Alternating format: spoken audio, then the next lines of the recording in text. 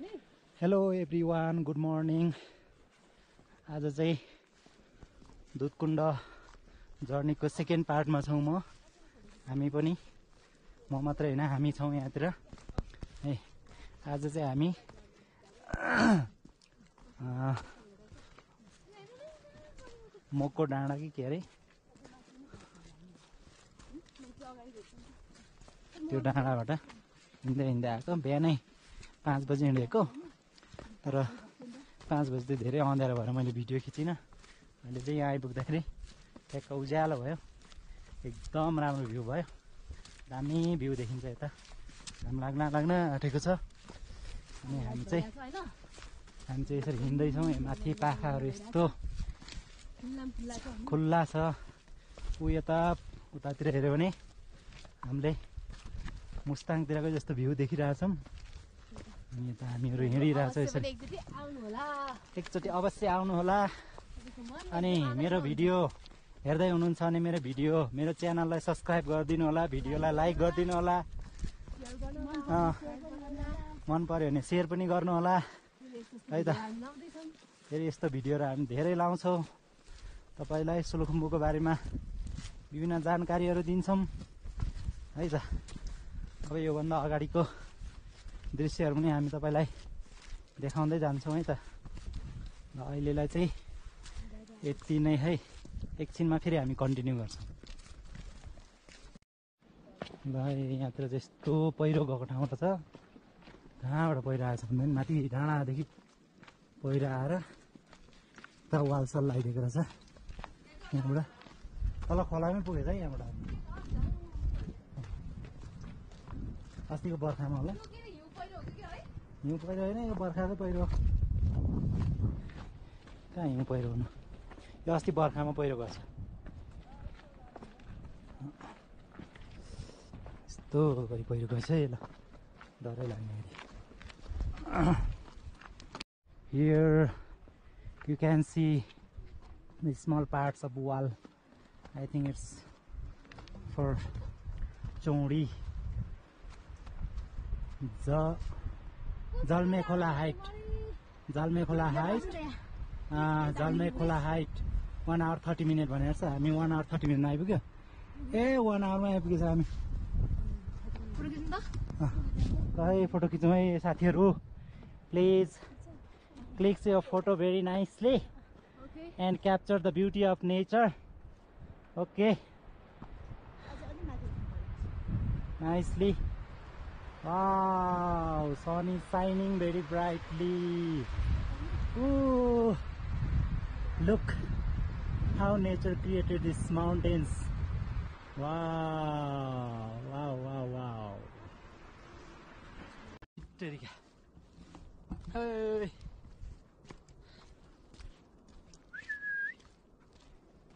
Hi दुधकुण्डको यात्रा कोही साथी अगाडि कोही साथी पछाडि।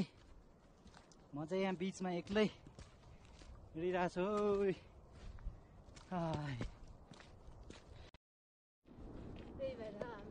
ओ everyone welcome welcome to you all in on the way to Dudhkunda. Let's move little fast we are very slow यो चाहिँ सानो बेनी हाइट रहेछ अब सानो बेनी टु सहस्त्र बेनी एक घन्टा पैँतालिस मिनट। यो चाहिँ सानो बेनी। है। सानो बेनीबाट अब सहस्त्र बेनी पुग्नलाई एक घन्टा पैँतालिस मिनट भनेर लेखेको छ दुई घन्टामा आइपुग्यो। भनेपछि चार घन्टा। एक घन्टा पैँतालिस मिनट। छिटै पुग्छ होला हामी। हाम्रो हिँडाइ अनुसार चाहिँ सानो बेनीबाट अँ, जमेको तुसारोले यस्तो गरी जमेको छ। अनि हामी असो जाँदा कति हो? सत्ताइस। अठाइस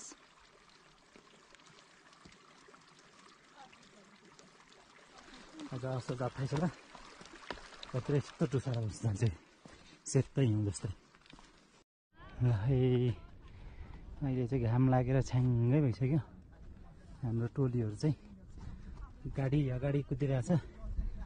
हामी चाहिँ बिस्तारै आनन्दले पछि पछि हिँडिरहेछौँ। हामी कुद्दैनौँ। बिस्तारै हिँड्छौँ। हतार नगरिकन धेरै हाइटमा धेरै छिटो पनि हिँड्नु हुँदैन। बिस्तारै हिँड्नुपर्छ हिँडिराख्नुपर्छ त्यो भने समस्या हुँदैन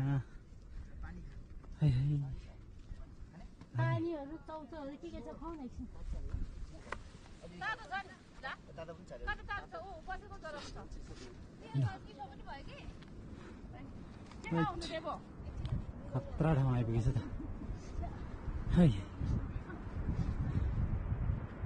यो उयो गहिरोमा त होला भनेको के अरे सहस्र बेनी भनेको उयो गहिरोमा त होला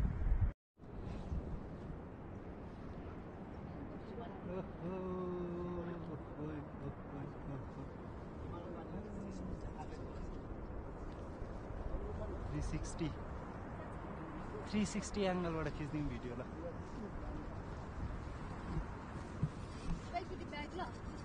तै सहस्र बेनी यहाँबाट उता चाहिँ जिरी जाने बाटो। वा दामी रहेछ ल। मान्छे पनि रहेछ यहाँ टक्क। होटल दामी रहेछ। हेरौँ अब त्यहाँ। गएर हेरौँ के के खाना पाइन्छ।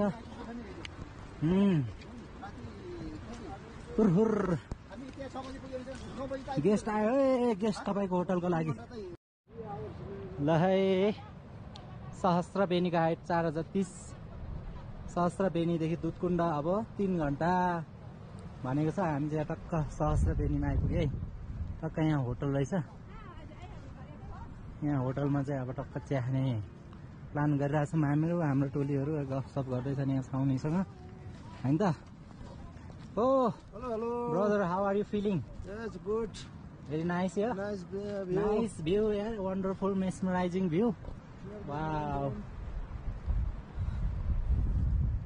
ग्रेट ब्युटी अफ नेचर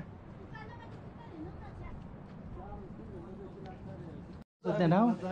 हामी बिजोकमा सुतेर यहाँ हेर दामी रहेछ नि त ल फ्री फ्री सुत्नु पाउँदैन नि डर अर्कोले पनि डर के यो। अर्कोले पनि डर।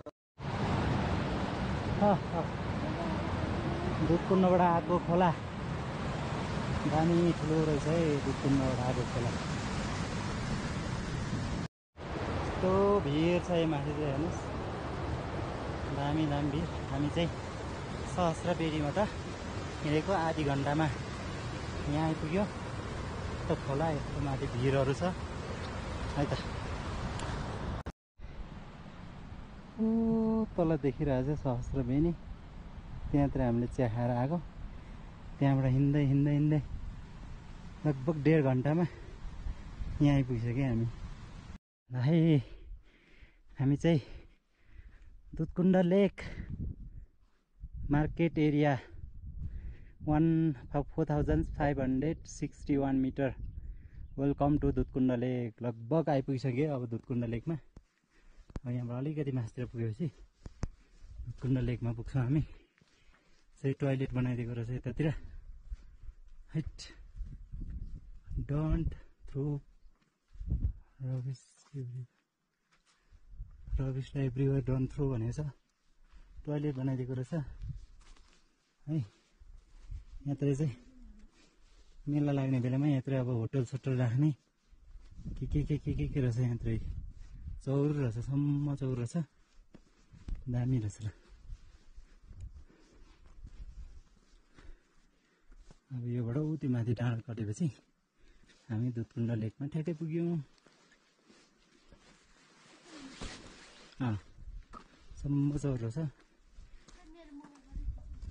होटेल गर्नुलाई साह्रै कायदा रहेछ ल टोइलेटहरू दुई तिन ठाउँ बनाइदिएको रहेछ। व्यवस्थित तरिकाले। त्यहाँ बनाइदिएको रहेछ टोइलेट त्यहाँ बनाइदिएको रहेछ। यतातिर गोठहरू बनाएर पाल यतिकै छोडिदिइराखेको छ। खोर्सानी पिस्नेहरू पनि त्यत्तिकै छोडिदिइराखेको छ त्यतातिर।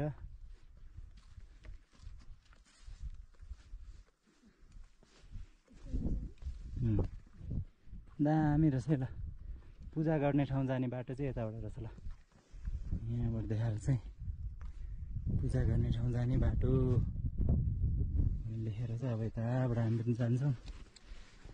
एकछिनमा पुगिन्छ होला। थकाइ चाहिँ थकाइ लागिरहेछ।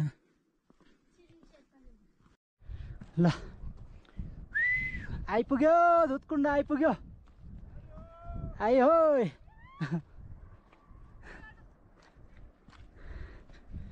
दुधकुण्ड आइपुग्यो दुधकुण्ड ल एहेम। दामी रहेछ है दामी ल खतरा आ खतरा भ्यू हिँड्दा हिँड्दा हिँड्दा बल्ल बल्ल बल्ल बल्ल आइपुग्यो है खतरा भ्यू रहेछ हैट यहाँतिर चाहिँ पूजा गर्ने ठाउँ रहेछ ल है त। सेट लाएर यो भित्र चाहिँ मन्दिर हो क्या चेट्टो लाएर बत्ती बाल्ने ठाउँ रे। चेट्टो लाएर खै बत्तीहरू त छैन यहाँतिर अर्कोले बालेछ। यहाँ त पूजा गर्ने ठाउँ रहेछ। है दामी रहेछ ल। ढुङ्गाहरू पुरै पारेको रहेछन्।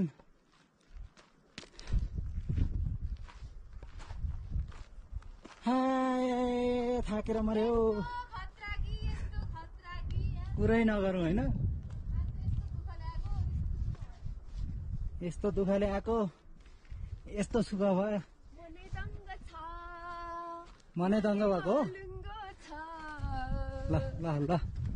मन दङ्ग भएको छ गोसाइकुण्ड पुगेर।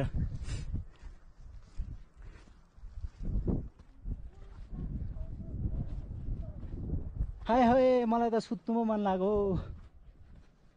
थाकेर हिजो राति नसुतेर। तल सुत्नु खोज्दै थियो दुईजना बल्ल बल्ल उठाएर उहाँसम्म ल्याएको छु। आउँदैछ उहाँसम्म आइपुग्छ। आउ त अरू त तल्ल गाउँका एक घन्टा पनि आइपुग्दैन होला। हाय हाय ल ओए त्यो त त्यो नि खतरा। खतरा कस्तो खतरा ढुङ्गाहरू आम्मा ढुङ्गाहरू।